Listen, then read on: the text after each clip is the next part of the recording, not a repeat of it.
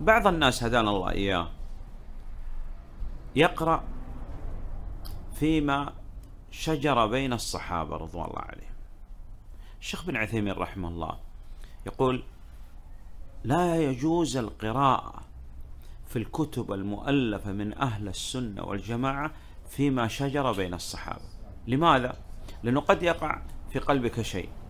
الله سبحانه وتعالى لا يسألك يوم القيامة عما شجر بين الصحابة ومن هي الفئة الباغية لكن سائلك الله سبحانه وتعالى هل أطعت الله سبحانه وتعالى في قوله والذين جاءوا من بعدهم يقولون ربنا اغفر لنا ولإخوان الذين سبقونا بالإيمان ولا تجعل في قلوبنا غلا للذين آمنوا ربنا إنك رؤوف رحيم.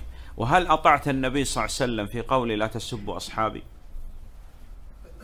إذا هذه الشبهات قد يعني تؤدي عند دخولها في القلب أنه لا يستطيع أن يخرجها.